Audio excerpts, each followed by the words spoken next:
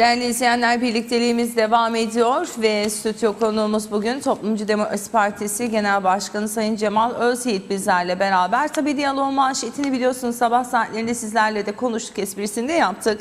Şimdi herkes şaşkın Ee, çünkü Kuzey Kıbrıs Türk Cumhuriyeti'nde daha önce böyle bir şey hiç olmamış. Protokol ne der acaba demiştik. Sayın Talat şimdi parti başkanı olarak mı protokolde yerini alacak yoksa ikinci cumhurbaşkanı olarak mı?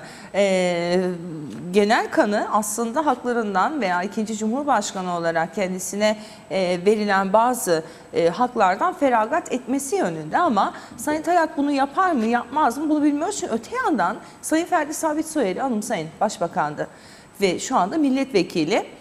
Ee, ama başbakanlık döneminde kendisine sağlanmış olan şoför, ne bileyim işte devlet tarafından e, araç bunların hepsini kullanıyor. E, ama diğer milletvekillerinin böyle bir şansı yok. Dolayısıyla bu bu yönde mi devam eder? Sayın Talat Sayın Soyer gibi e, bu şeylerden, imkanlardan faydalanır mı ofis vesaire gibi? Yoksa bunlardan feragat etme yolunu mu seçer? Bunları konuşacağız ama herkesin şaşkın olduğu şimdi ne olacak sorusuydu. Ee, Sayın Özyiğit hoş geldiniz. Hoş bulduk. Herkese iyi bir gün, mutlu bir hafta dileyelim öncelikle. Şimdi öncelikle ben izleyicilerimize bir hatırlatmak istedim. Ee, yeni televizyonu yeni açanlar olabilir. Ee, dolayısıyla 91.3 frekansından da bizleri radyodan da takip edebilirler. Siz ne diyorsunuz bu duruma? Sayın Talat şimdi sizin yanınıza mı gelecek yoksa Sayın Eroğlu'nun yanında mı duracak?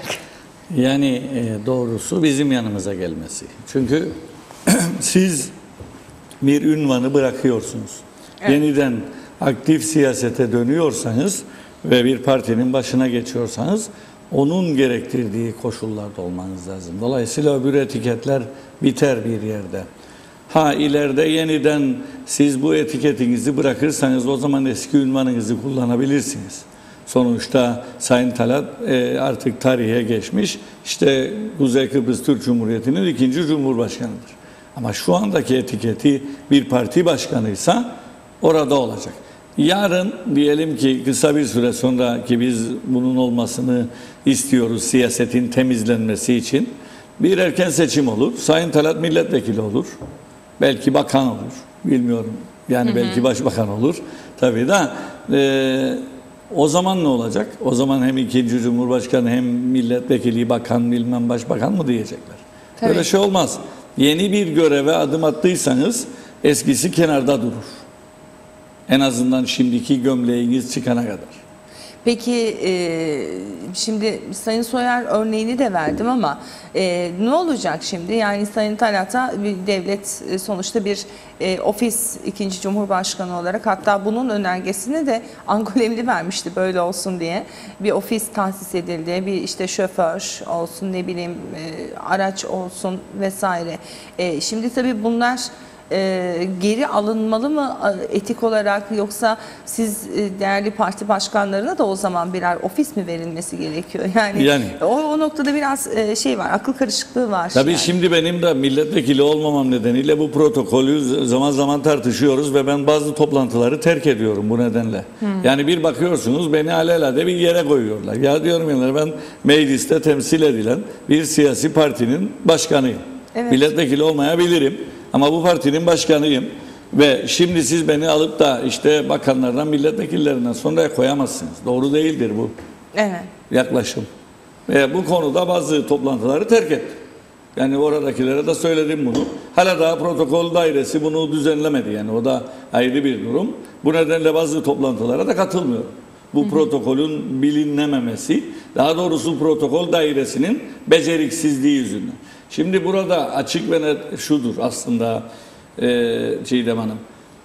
Dünyada böyle örnek yoktur. Bir adam başbakan olur, e, seçim kaybeder ve yeniden milletvekili olarak görevine devam eder. Bizde olan sorunlar bunlardır. Yani dünyada seçimi kaybettiniz mi alırsınız çantanızı kenara çekilirsiniz evinize gidersiniz. Artık ondan sonra dilek temennilerde o inandığınız düşüncelere katkı koyarsınız koyarsanız. Ama bizde yok. Bizde yenilen pehlivan güreşe doymaz misali. E, hacı yatmaz gibi giderler gelirler giderler gelirler. Mesele budur. Bunu aşmaktır artık. Toplumun bunları temizlemesi, bunlardan arınması lazım. Kim olursa olsun, ister solda ister sağda olsun. Evet. Bir, bir seçimde e, taahhüdünüz yerine gelmedi kenara çekileceksiniz. Çantanızı alıp gideceksiniz. Bunun başka izahı yoktur. Evet. Yani aksi takdirde bakalım şimdi Gerhard Schröder'i hatırlayan var mı? Yok. Almanya Başbakanı. Dünyaya hükmetmiş önemli liderlerden biri. Tony Blair. Nerededir Tony Blair? Evinde. Yani Bill Clinton ha bir barış çalışmaları bilmem ne çalışmaları doğrultusunda uluslararası çalışmalarda BM bunlardan yeri geldiğinde yardım alıyor. Bir şeyler yapıyor. Ama yokturlar siyaset sahnesinde artık. Yakınları olabilir başka bir şeydir. Kendileri yoktur. E bizde öyle değil. Bizde yenilir, bir de ünvan verilir. Dediğiniz gibi taltif de edilir, bir takım olanaklar sağlanır. Ama gene de aktif siyasetten kopmazlar. E çekilin kenara da başkaları gelsin. Sonra da çıkacaklar kurultayda diyecekler ki gençleşme lazım. E gençleşmenin önünü önce siz açacaksınız. Çocuklarınız geldi oralara siz kenara çekilin artık. Tabii. Bırakın çocuklarınız gelsin bu arenada onlar uğraşsın. Evet. Yani gençleşme ve dönüşümden, değişimden bahsedenlerin daha ağırlıklı olarak hala aktif siyasette olduğunu görmek bir tezatlık yaşatıyor aslında öyle değil mi? Şimdi benim söylemeye çalıştığım şu. Yani e, biz de artık belirli bir yere geldiniz. Belirli makamlara geldiniz. Yani Cumhurbaşkanlığının ötesi var mıdır? Yok. Yani Cumhurbaşkanlığından ötesi yoksa bu ülkede Cumhurbaşkanlığından sonra dönüp de böyle şeylere soyunmayacaksınız. Bu kadar açık ve net. Yalın kenarda. İleride mal, e, bizim yasalarımız el veriyor.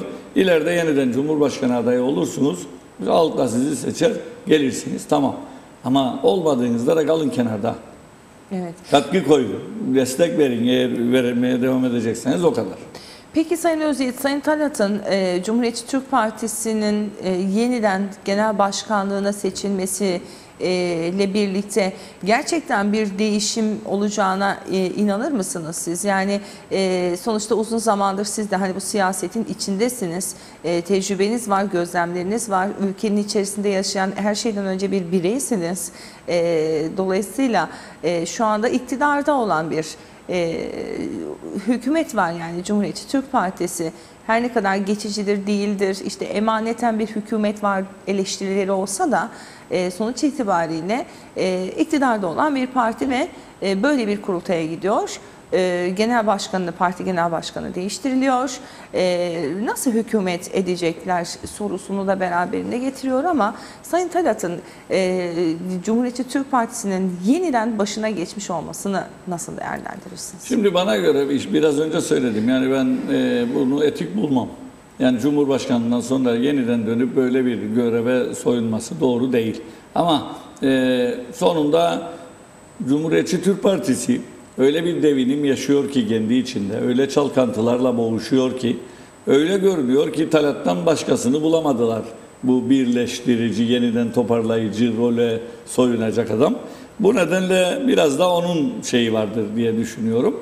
Ee, olur mu olmaz mı onların sorunudur elbette ama ben e, sonuç ne olursa olsun dediğiniz gibi şimdi Sayın Talat e, özellikle Cumhuriyetçi Türk Partisi eğer yarın da hükümette olursa ve hükümeti gene Cumhuriyetçi Türk Partisi kurarsa sonuçta Sayın Talat'ın vekaleten görev vereceği bir kişi başbakan olacak demektir. E, bu da emanetçi başbakan e, rolündedir. Emanetçi başbakanlarla bir yere varılamayacağını tarih göstermiştir. Dolayısıyla e, bu hükümetin ömrü ne derlerse desinler, ne kadar direnirlerse dirensinler erken seçimden kaçmak, toparlanmak adına kendilerine göre erken seçim kaçınılmaz. Yani Sayın Talat da eğer aktif siyasete yeniden soyunacaksa giyecek çizmeleri seçime gelecek. Halk Partisi'ni seçime getirecek. Halk Partisi'ne ve kendine ne kadar değer verir yeniden önce bunu test edecek. Ve ondan sonra yola devam edecek edecek sayılır. Ya da halk kendine hayır derse o zaman kenara çekilip eski ünvanıyla bu ülkede e, siyaset yapmaya veya bu ülkeye katkı koymaya devam edecek. Dolayısıyla ben bu meclisin artık bu aşamadan sonra bir icraat hükümeti oluşturabileceğine asla ihtimal vermiyor. Hükümet kimlerden oluşursa oluşsun. Bir icraat hükümeti şansı yoktur artık. Zaten Cumhuriyetçi Türk Partisi, Demokrat Parti hükümetine bir bakalım. Şimdi Sayın Başbakan dün konuşmasında dedi ki biz çok şeyler yaptık. Bir sürü yasalar yaptık. İşte kendi kendine denk bütçe yaptık. İşte halkın önünü açtık. E, Sayın Başbakan çıkın sokağa. Bulunduğunuz yer neresiyse şimdi çıkın sokağa ve halk size ne söylüyor ona bakın. Yani bu ülkede şikayetçi olmayan bir tek kesim yok. Siz çiftçiyi tüccarın pençesine terk ettiniz. Siz üreticiyi perişan ettiniz. Yani e, bugün işçiler zaten bırakın asgari ücret hala daha 6. aydayız. Hala daha 2015 yılının asgari ücreti belirlenemedi. Halk perişan sokaklarda ve e, işçiler iş güvenliğinden yoksun. Neredeyse bu hükümet döneminde sürekli olarak iş kazası, ölümlü iş kazaları oluyor. Hani güvenlik? Hani sosyal güvenliği bıraktık? E, çalışma güvenliği nerededir? Neyi çözdünüz bu ülkede? Eğitim hakeza, sağlık hakeza. Devlet ve halk bunlara güvenmiyor. Hepsi özellere kayıyor. Siz neyin başbakanı oldunuz yani da? Çıktınız çok güzel şeyler yaptınız diye şeyler söylüyorsunuz. Bir şey yapamadınız diye partiniz bile sizi kenara çekti. Mesele budur. Ama bir şey yapabilecek biri var mıdır yok mudur? Bunun testi halka gitmektir. Halk 29 Haziran 2014'te değişim rüzgarını başlattı. 19-26 Nisan 2015'te liderini değiştirdi. Hem de lider böyle alelade biri değil. Bu ülkenin son 40 yıllık tarihine, Kıbrıs Türk halkının mücadele tarihine e, önemli yeri olan bir lider. Sayın Eroğlu'nu kenara çekti. O zaman değişim başladı. Değişimin önünde duramıyorlar, duramayacaklar. Şimdi bu yeni döneme nasıl adapte oluruz sancısı içindedirler. Onlar da UBP da DP zaten var mıdır yok mudur artık belli değil. Böyle arada yalpalayıp gidiyor. Şimdi hangisine yamanırsam daha karlı çıkarım hayalleri kuruyorlar ama yoktur onların da sonu. Dolayısıyla ben diyorum ki Sayın Talat ne yaparsa yapsın. Kiminle nasıl bir hükümet kurarlarsa kursunlar. Bu işin bir tek çözümü vardır. Halka gitmek. Erken Peki, seçim kaçınılmaz. e, Sayın e, Özyiğit, ülke geçtiğimiz gün bir açıklama yaptınız hafta sonuna, e, Cuma'ydı sanıyorum gazetelere yansıdı. E, orada dediniz ki işte döviz kurları oldukça yüksek, hükümet derhal bir kriz masası oluşturmalı ve buna bir çözüm bulmalı dediniz. E, ülke içerisindeki ekonomik sıkıntılara az önce de siz e, dikkat çektiniz. Asgari ücret konusuna gerek işte çiftçinin ve hayvancının yaşamış olduğu ekonomik sıkıntılarda e, ve ülkenin her sektörünün aslında şu anda sıkıntı çektiği ortada. E, bütün bunlara rağmen bir erken seçim e, size göre de biraz masraflı olmaz mı ülke açısından, siyasi partiler açısından da? Çünkü siyasi partiler de e, üst üste seçim yaşadılar ve seçim yaşamak bu ülkede çok e, kolay bir şey değil. Özellikle en az payı alan Toplumcu Demokrasi Partisi için e, devlet katkısı açısından. E, dolayısıyla e, bu doğru bir karar olur mu? Belki karar olarak doğru olur ama ekonomik olur mu? E, bu biraz e, riskli bir de seçim olmaz mı? Çünkü parlamentoya baktığımız zaman e, ortaya çıkan bir vaat vardı ve halkın beklentisi var. Örneğin siyasi e, partileriyle ilgili yasalar veya seçim ve halk oylaması yasasının e, değişmesi istenci var halkta. Tek e, tek çarşaf veya iki bölgeli bir seçim e, talebinin olduğu da ortada. Şimdi bütün bunlar yapılmadan erken bir seçime gidilirse bu halk o sandığa gider mi? Katılım oranı düşmez mi sizce de? Ekonomik açıdan da her açıdan baktığımız zaman erken seçim biraz e, erken söylenmiş bir söz olmaz mı? Şimdi bakın Çiğdem. Eğer bu meclisten birileri bir icraat hükümetinin çıkacağını veya bugüne kadar olan hükümetin bir icraat hükümeti olduğunu söylerse beri gelsin. O, Yani orada, varsa- orada bir iddiam yok zaten E, benim e, ya- ama Yoksa o zaman orada Bostangor Kuluğu gibi birileri oturacaksa ve oturdukları için bu halkın sorunları katmerlenecekse daha da içinden çıkılmaz bir hal alacaksa bugün çıkalım gidelim ben sürekli olarak Lefke'den Dipkarpaz'a dolaşıyor. Bakın sürekli ülkeyi dolaşıyor. Yani bir köyde bir kentte biz bu hükümetten yapılan çalışmalardan memnunuk diyeni görmedim. Evet. Eğer ve olası bir hükümetin de sorunlarını çözmeyeceğini düşünüyor vatandaşlar artık. Ve onu o nedenle bir seçim kaçınılmaz diyorum. Ama e, biraz önce siz de söylediniz. Biz daha böyle erken seçim, yarın erken seçim demiyoruz. Bakın bir şey söylüyoruz biz. Diyoruz ki sizin söylediğiniz gibi seçim ve halk oylaması yasasını değiştirmeden seçime gitmek yok. Siyasi partiler yasası bakın mecliste komitede son aşamaya geldi. Komite onaylasa, oylasa onaylanıp meclis genel kuruluna gelecek ve kısa sürede yasalaşacak. Ama olmuyor. Evet. oldu. Demokrat Parti ayak sürüyor. Bir türlü, bir sürü. Ve Cumhuriyetçi Türk Partisi de ona uydu ve devam ediyorlar. Bir türlü bu yasa geçmiyor. Ha biz de diyoruz ki seçim ve halk oylaması yasası. Milletvekili transferi denen etik dışı, ahlak dışı olayı yasaklayan siyasi partiler yasası. Göç yasası dediğimiz yasa. Ee, özel sektörde sendikalaşma ki biraz önce bahsettiğimiz iş kazalarının en önemli nedenlerinden bir tanesi de odur. E şimdi e, bütün bunlarla ilgili temel ve belki üçlü kararname sisteminin kaldırılması veya kapsamının yeniden belirlenmesi bunları konuşacağımız bir geçiş dönemidir yaşanması gereken bu ülkede. Bir icraat hükümeti değil. Bir geçiş dönemi ki Toplumcu Demokrasi Partisi bir geçiş dönemine katkı koymaya hazırdır. Böyle bir yapıda bu yasaları geçirip halkın önünü açacak ve ülkeyi salimen bir seçime götürecek şekilde.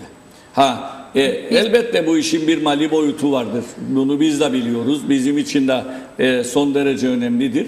E, ama başka çaresi de yoktur.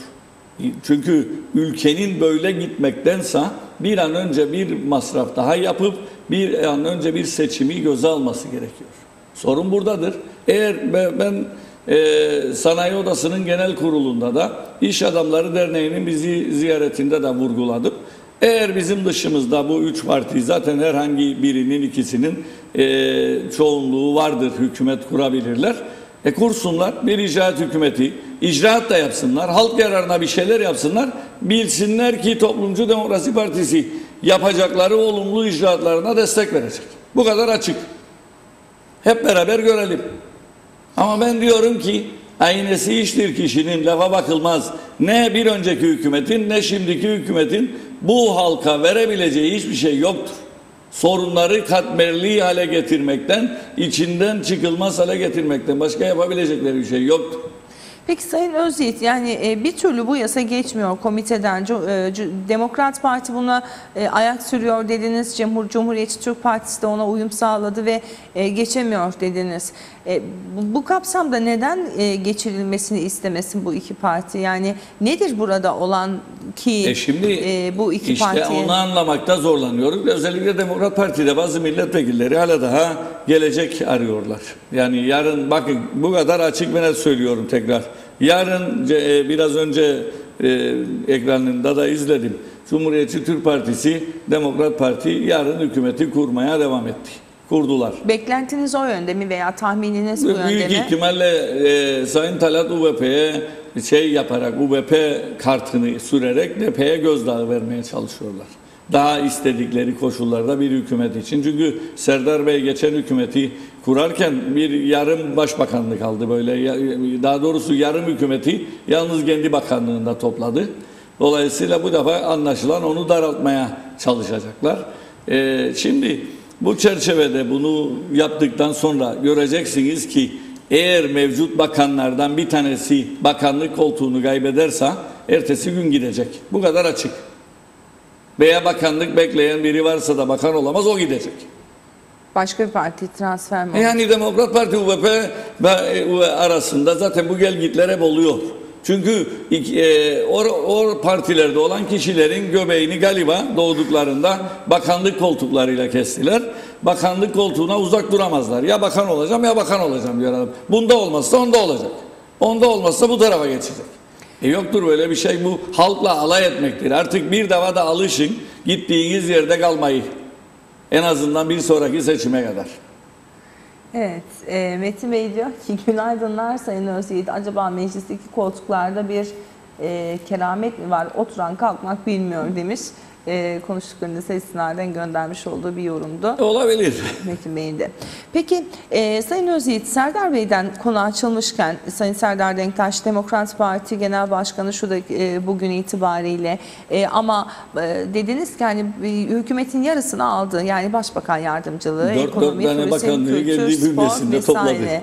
E, bu- bunu muhtemelen daraltmaya gidecekler ve böyle bir hükümet modeli oluşacak dediniz. Ama Serdar Bey e, bakanlığından veya virgüllü bakanlıkların hepsinden istifa ederken, e, feragat ederken diyelim veya e, TC yardım heyetinin işleyiş şeklini ve bundan memnun olmayışını daha ağırlıklı olarak ön plana çıkardı. E, ne olacak Serdar Bey'le e, yani CTP e, Demok Serdar Bey'in başkanlığındaki Demokrat Parti ile bir koalisyon hükümetine yeniden gider gider ise eğer e, Serdar Bey nasıl bakan olacak? Ya da Serdar Bey nasıl Olacak mı? başbakan yardımcısı Olacak olacak? mı? O zaman parti genel başkanı Şu olarak kalır mı? e, kamuoyunun beklentisi olmayacağı yönündedir. Ama Serdar Bey'in beklentisi sizce nedir? Bilmem bilemem. İstifa gerekçeleri neyse açıklamadığı gerekçeler o gerekçeler halen devam ediyor. Yani e, çünkü normalde olmaması Yani şimdi gerekiyor o zaman. yardım heyeti dün engel oluyorsaydı bugün de engel oluyor. Kaldı ki Serdar Bey'in buna şikayet etme hakkı var mıdır yani? Serdar Bey bu konuda en son şikayet edecek kişilerden bir tanesidir. Çünkü yardım heyetini bu ülkede bu konuma getiren kendileridir. Bakın e, bizim buna karşıtlığımız öteden beri bilinmektedir. Yardım heyeti değil. Sayın e, elçilik düzeyinde zaten bu ekip vardır. E, bir daha yardım heyetinin oluşturulması ve vatandaşımızın oralara yönlendirilmesinin, yönlendirilmek durumunda kalmasının nedeni de bugüne kadar olan hükümetlerdir. Yani bakın siz e, ben de kamuda en azından okul yöneticisi olarak çalıştım. Onun için biliyorum. Ee, bakanlıkla uğraşırsınız uğraşırsınız bir türlü sorununuz çözülmez. Çünkü bakan, bakan da dahil iş bilmezler ordusu vardır bakanlıkların genelinde bu ülkede. Bugüne kadar en azından genel çerçevede böyle istisnalar olabilir. E şimdi sorununuzu gidersiniz aktarırsınız sorun çözülmez. İsterseniz eğitimde bir şey yapasınız veya başka alanda çalışanlar başka alanlarda. Sonunda ne olur bilir misiniz? Size birileri yardım heyetinin kapısını işaret eder. Kendileri de dahil. O kadar beceriksizdirler ki e gidin yardım heyetine. Yani gidersiniz yardım heyetine orada işiniz olur. Nereden olur bilir misiniz? Analitik bütçe diye bir kavram vardır. O bakanın bütçesinden sağlanır o olanaklar. Ama bakan da orada bostan korkuluğu gibi oturur. Ve vatandaş yardım heyetiyle olur. O zaman siz aradan çekilin. O zaman bu ülkede bir hükümet yoktur deyin. E bunu söylemek de olmaz. Biraz önce Metin Bey'in söylediği gibi koltuk tatlı, makam arabaları tatlı. Bir, bir şeylerden feragat etme yok. Saltanat sürerler gösterişte ama icraat yok. Halkı başka yerlere yönlendiriyorlar. E budur doğru olmayan. Ha Serdar Bey bu yapının böyle olduğunu en iyi bilenlerdendir. Çünkü kendi de uzun yıllardır bu politikanın içinde ve gelmiş geçmiş neredeyse bütün hükümetlerde bulunan kişilerden biridir. Onun için hiç şikayet etme hakkı yoktur. Öyleyse asli gerekçesi bu değil veya buna e, açıklamış oldukları ya da açıklamamış oldukları değil de bu bir siyasi manevra mıydı hükümet e, ya da Serdar Bey bunu gördü Cumhuriyetçi Türk Partisi veya bir ay iki ay sonrasını e, gördü ve ona göre bir manevra yaparak e, belki yeni gelecek veya yeni kurulacak hükümette yer alma çabası mıydı acaba? E, Serdar Bey erozyonu önlemeye çalışıyor. Erozyonu partisindeki erozyonu önlemeye çalışıyor. Ama farkında değil ki parti zaten daha önce de erozyondaydı. O dönemde bir şans güldü kendine son anda. Milli Piyango'nun büyük ikramiyesi çıktı. Kendine 2013 seçimi öncesi. Sayın Eroğlu'nun da desteğiyle İr- Sayın İr- e, İrsen Güç'ü hükümetten alaşağı etmek için bir Sekizler Hareketi oluşturuldu. Sekizler Hareketi Serdar Bey'in yanına geldiği seçime öyle girildi. Ve işte bugüne kadar uzatıldı Demokrat Parti'nin ömrü. Ne kadar gider bilemem. Serdar Bey o erozyonu önlemeye çalışıyor. Peki bugün Kuzey Kıbrıs Türk Cumhuriyeti'nde e, mevcut sistemi nasıl değerlendiriyorsunuz Sayın Öziyet? Yani e, gerek ekonomik anlamda gerek işte e, yani ekonomik bağımlılık anlamında gerek su geliyor şimdi e, suyla ilgili yönetimiyle ilgili yine e, kim yönetecek tartışmaları var. Su geldi geliyor o ayrı bir konu. Ülkede iş güvenliği yok dediniz. E, C- Cumhuriyetçi Türk Partisi iktidarda olmasına rağmen Sayın Tufan Erhürman'ın eleştirilerini e, görüyoruz. Yine o da e, şey kendi partisinin bir milletvekili olarak e, istihdamlar, maden ocakları, çevre konusu vesaire gibi ama bütün bunların olabilmesine zemin hazırlayan da bir çeşit sistem var ülkede. Bu sistemi nasıl değerlendiriyorsunuz? Bu sistem tükendi. Yani bu ülkede bugüne kadar gelen düzen bitti. Bu düzenin değiştirilmesi lazım. Yeniden bütün yapısının gözden geçirilip tesis edilmesi lazım. Halk şunu bilmeli. Bugüne kadar hep e, kişisel vaatlerle, halka veya belirli zümrelere belirli vaatlerle hükümet etme, mecliste çoğunluğu sağlama şansı yakaladı birileri. Ve işte gelebildiğimiz nokta budur. Ganimet dönemi bitti artık Çiğdem Hanım. Yani işte Rum'un 1974'te bıraktığı ganimet ve onun getirileri artıları da bitti. Sonuna gelindi. Onun için biz aslında e, eğer gerçekten birileri de varsa bu ülkeyi yeniden tesis etmek, yeniden bir düzene koymak oturup kafa kafaya verip bunun üzerine kurmalıyız. Yani dolayısıyla bundan sonra gelecek hükümetlerin öncelikli görevi bu olmalıdır. Bu ülkede her şeyi yukarıdan aşağıya tesis etmek. Bakın şimdi biz diyoruz ki yasa dışı ve münhalsiz, sınavsız istihdamlar olmasın diyoruz. Biz de diyoruz bunu. Halk da böyle diyor. Bu ve yüzde yüz doğru bir şey. Pekala. Ama öte yandan da diyoruz ki ıslak imza olaylarına karışmış, sınavları şaibeli, ikide birde yaptığı terfiler mahkemeye giden bir kamu hizmeti komisyonunun da yapacağı sınavlara güven yok. Kamu hizmeti komisyonu da siyaseten siyasetten uzaklaştırılmalı, bağımsız, tarafsız, özerk bir hale getirilmeli. E o zaman kamuya istihdam olanağı sağlayacak veya tayin terfi nakilleri düzenleyecek olan kamu hizmeti komisyonunun yapısı güven vermiyor insanımıza. O zaman ondan başlamak lazım düzeltmeye. Ama onu düzeltirken siz bu taraftan e, Yavuz hırsız ev sahibini e, baskın çıkar misali e, gider ayak böyle hükümet kurultay hesabıyla tıpkı daha önceki hükümette olan kurultay istihdamları gibi kooperatife, elektrik kurumuna ve benzeri yerlere öyle alelacele istihdamlar yaptı. Ya bunlar neyin nesi? Yani siz bir düzenden bahsediyorsunuz ve üstelik bunu yapanlar da emek sömürüsü yapıyorlar aslında. Emek edebiyatı yaptılar yıllarca aslında halk da bunu iyi anlasın. Emek sömürüsünden başka bir şey değil yaptıkları. E şimdi daha önceki UBP hükümetlerinden CTB'nin yaptığının farkı nedir? Bir farkı yok. Biz tam tersi bu ülkenin yeniden dediğim gibi dizayn edilmesi gerekir en yukarıdan aşağıya ve halkın artık şunu bilmesi gerekir. Bunu da eğitimle yapmak lazım. Japonya'ya o nedenle hayranım. Japonlar e, nasıl daha fazla ülke ve toplum yararına çalışırım diye düşünüyorlar. Biz ne düşünüyoruz? Nasıl az çalışırım hatta hiç gitmeden maaş da eve gelse ne güzel olur. Böyle bir mentalite egemen kılındı bu ülkede. Bakın şimdi saat dokuz buçuk. Belki de hala daha sokaklarda işe giden insanlar vardır. E ne saat mesai başlıyor bu ülkede? İşe giden kamu görevlileri diyelim. Ne saat İnsan- başlıyorlar bu işe? Ha, özel sektörü için söylemiyorum. Elbette onların başka çaresi yok. Ama devletten bahsediyorum zaten. Yani ve üç buçuğa kadar mesai. E saat üçten sonra hangi dairede kaç kişi vardır? Veya bu devlet 12-2 arası bir yemek molasını bile düzenleyememekten acizdir. Düzenleyemediler. Bakan, müdür, müsteşar, amir, şef neyse hiçbiri 12-2 arası personeli gruplara ayırıp da yani eğer bir iş yerinde 10 kişi varsa dersiniz ki işte ikiniz şimdi, üçünüz sonda, dördünüz sonda bir yarmışa saatlik periyotlarda bu yemek yenebilir. E gidelim 12-2 arası devlet dairelerinin geneline, spesifikler vardır biliyorum, e, geneline herkes yemektedir. Kimse yoktur. E vatandaş köyden çıkıyor, Karpaz'dan çıkıyor, Lefke'den çıkıyor, geliyor işi olsun diye saatlerce bekliyor. Ona doğru dürüst bir şey söylenmiyor ve tekrar gerisin geriye gidiyor.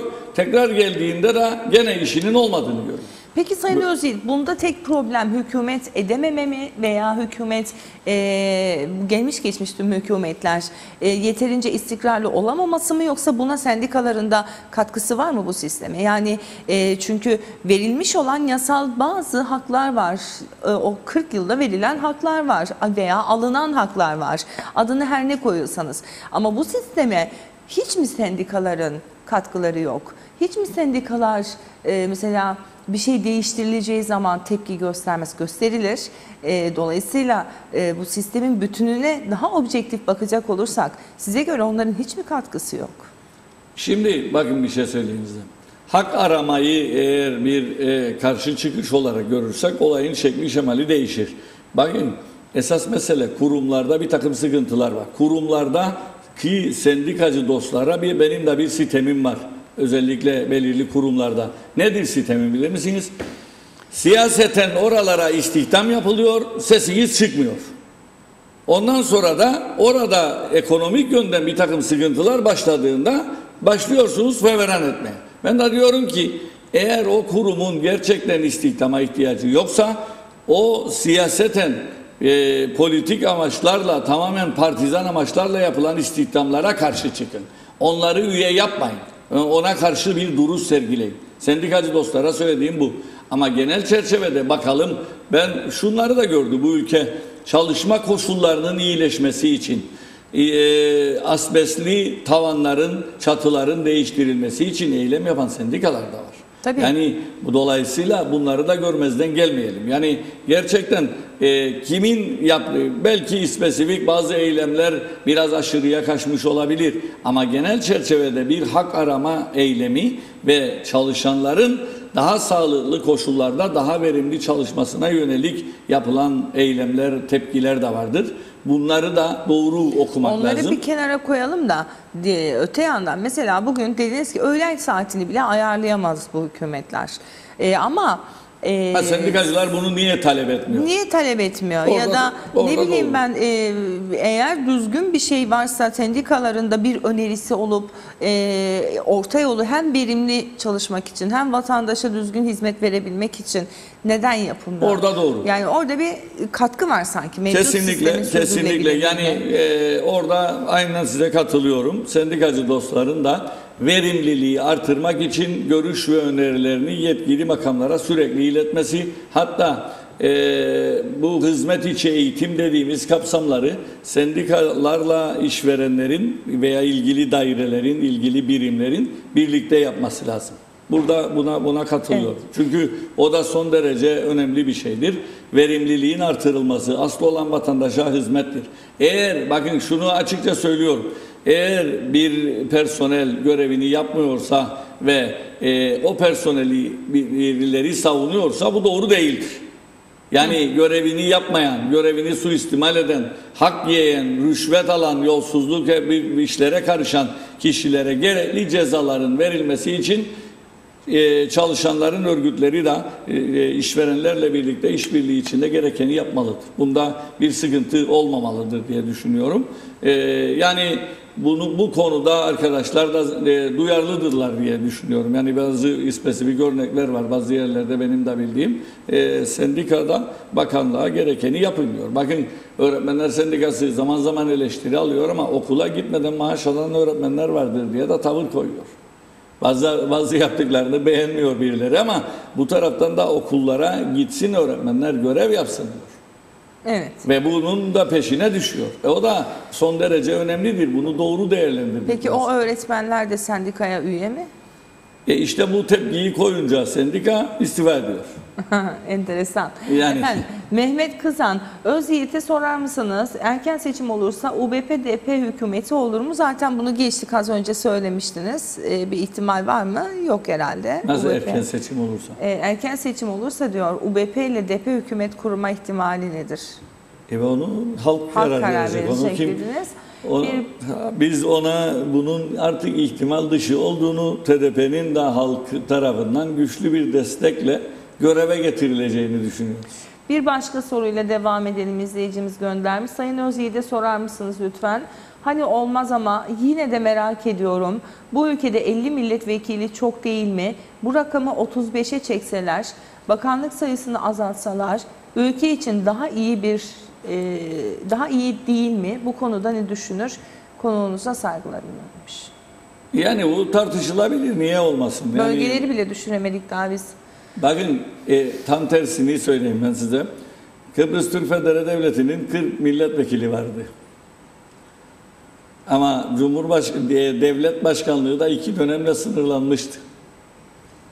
Sayın Denktaş ilelebet Cumhurbaşkanı olma hakkı elde etsin diye Parlamenter sistem mi? yani parlamenter Evet. sisteminde 40 milletvekili vardı. Kıbrıs Türk Federe Devleti'nin 40 milletvekili vardı.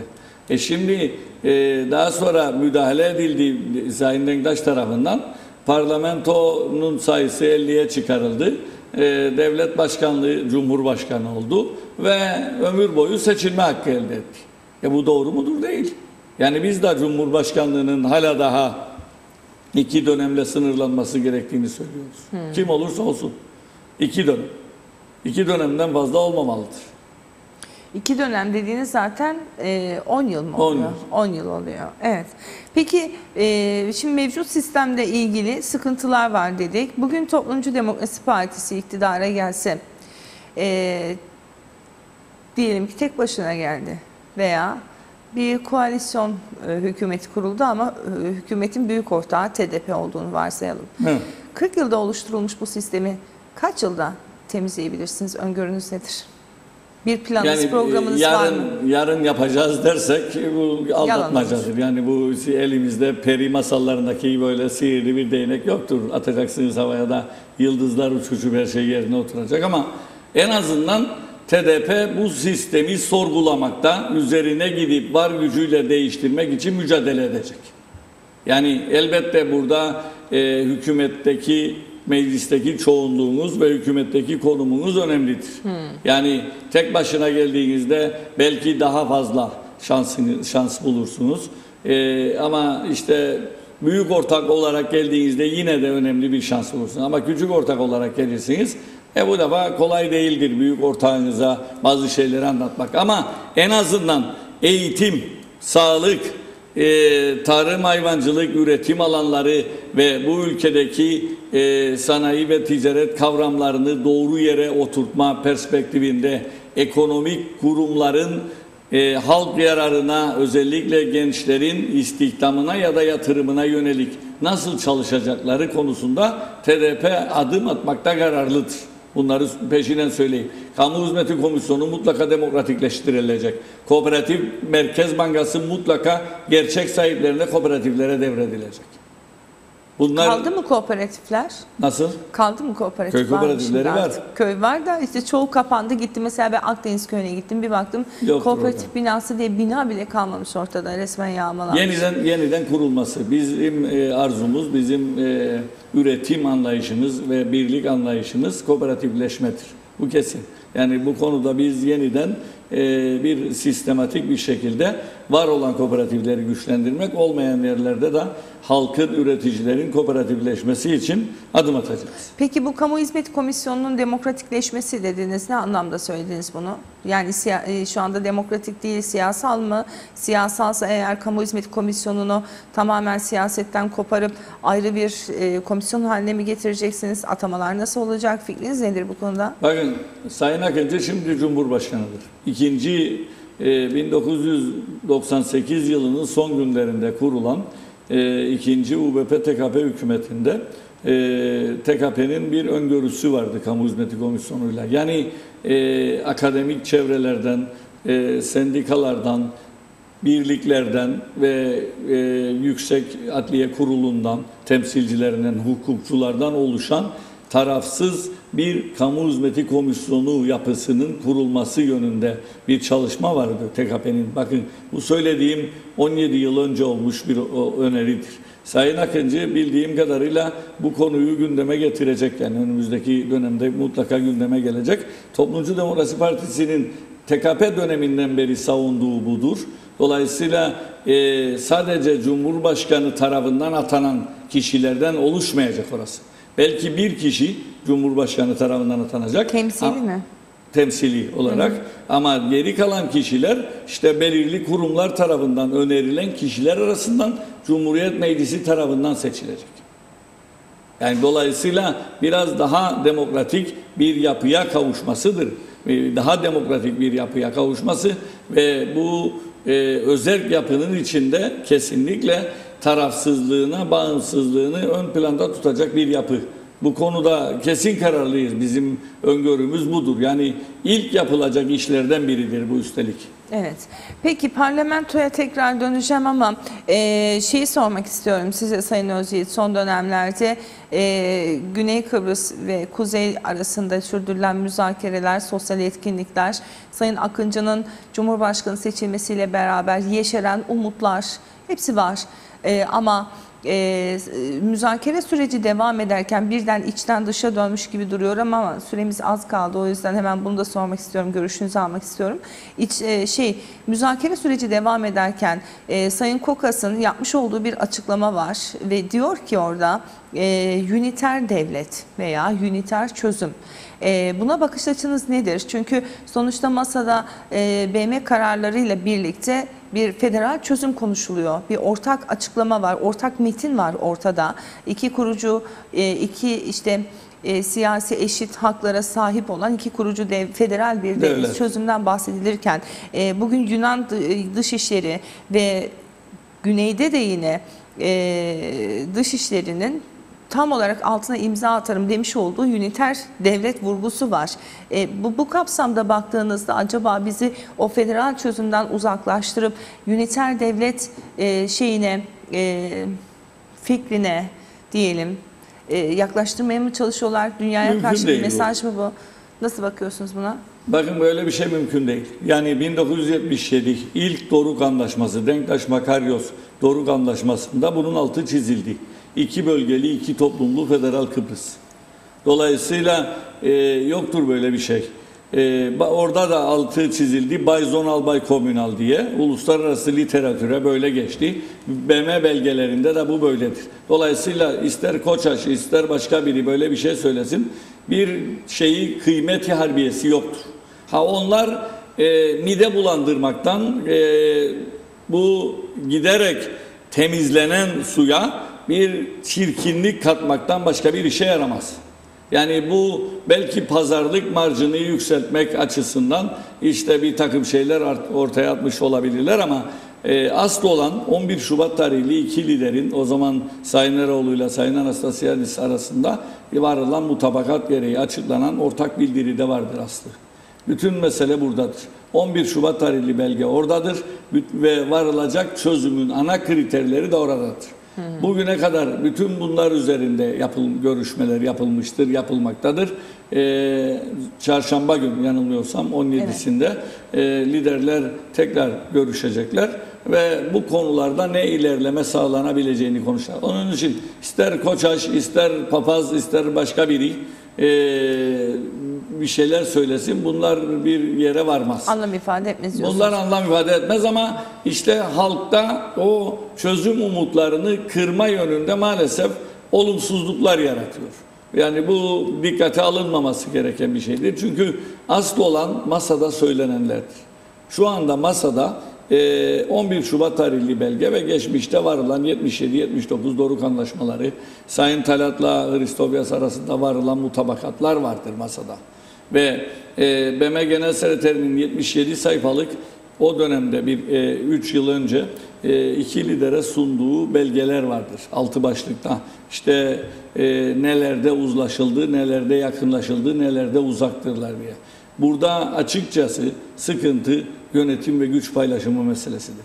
Rumlar bu yönetim ve güç paylaşımında dönüşümlü başkanlık dahil o yönetimin nasıl olacağı, bakan sayısının kaç Türk, kaç Rum, orada e, her iki tarafın da onayının nasıl alınacağı bunlar üzerindedir çalışmalar. Bunlardır sıkıntı veren ve daha doğrusu çözümlenmesi gereken. Bu çözümlendikten sonra masaya artık toprak ve mülkiyet meselesi gelecek.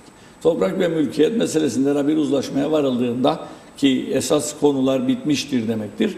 O zaman garantörler davet edilecek. Çünkü e, toplumumuzun çoğunun bilmediği bir şey vardır. İşte biz karar verdik garantörler gider. Bugün bazı basın organlarında da gördüm. İşte öyle garantiler istenir, böyle garantiler ister. Böyle değildir bu iş. Maalesef 1959 garanti ve ittifak anlaşmalarında garantörlere önemli haklar verilmiştir. Ve garantörlerle birlikte ancak bir değişim yaşanabilir. Bir beşli zirve e, Olacak. olması gerekiyor. Beşli mi olur bakarsınız başkaları da girer araya ki ben öyle olacağını düşünüyorum. Ne, ne mesela kim girer? Yani BM, AB, ABD da Ama abel, abelik bir durum yok. Rumların manevrası o. Avrupa Birliği'ni de e, bizim problemimizin içine sokmaya çalışıyorlar gibi görünüyor yani orada da. Şimdi Çiğdem Hanım öyle diyoruz ama bakın.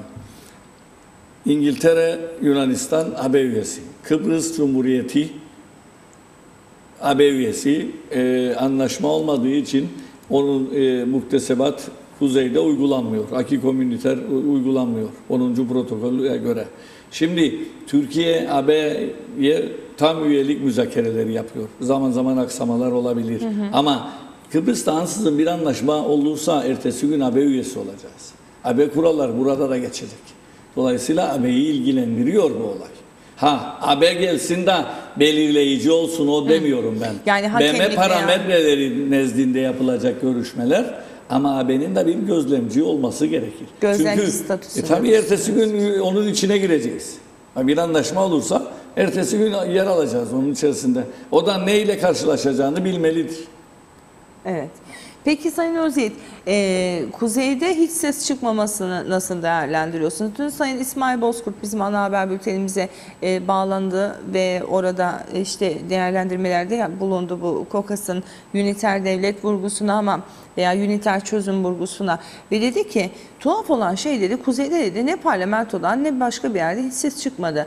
E, Sayın Akıncı masada federal çözümü görüşürken parlamentonun, sivil toplumun, e, KOKAS'ın bu açıklamasına en azından e, tek bir ses vererek e, Sayın Akıncı'nın da masadaki elini güçlendirmesi gerekmez mi? Yani e, çünkü sonuçta bizim e, seçmiş olduğumuz bir cumhurbaşkanımız var ve orada veya bir lider var kim nasıl isterse algılayabilir ama e, orada e, Kıbrıs Türk halkının e, haklarını e, savunan veya eşit düzeyde tutmaya çalışan, eşit düzeyde tut, yalnız bırakmamak gerektiğinden de bahsetti aslında Kesinlikle, bir anlamda. kesinlikle.